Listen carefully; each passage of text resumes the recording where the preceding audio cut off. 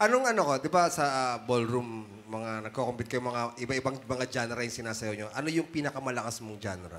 Uh, for Latin po, I believe rumba. And Rumba. for standard po, tango. Oh, yung sinayaw kanina ni Miss Regine, di ba? Yan, ah, rumba, rumba. Yun ang sinasabi mo lagi pag check-in ka eh. Ano? Ano? May roomba. Alam na, alam. Bakit? Di ba dyan tayo nagkita?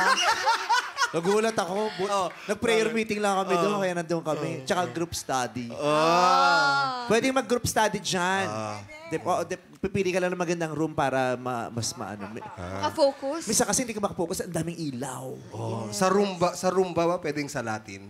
Oo. Pwede yung sa Latin, yung room. Di ba sa Latin? Sa May, Latin. may room ba? Sa dulo ah. Request mo lagi, sa, sa dulo ah. Malapit sa exit ah. Nakakatawa yung mga tao dyan, ano? Bakit? Pag nag-check-in, tsaka pag check out lahat nagmamadali. Kaya yung kahera dyan, ang laki nang naiipon. oh? Kasi yung sukling, kasi di ba laging ano, la- lalo na pag ano lang, ordinary room, Oh. 295 lang yan eh.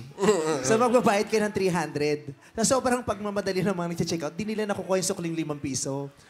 Kaya, kaya yung kahera nakakaipon, ang daming 5 piso nun, di ba? Pag, pag, pag 300, magmamadali kasi basa pa buko. Ah. Magagalang yung mga tao doon. ah. Oo. Magagalang yung mga... Paano magagal? Eh, Paano? kasi nakikidaan lagi.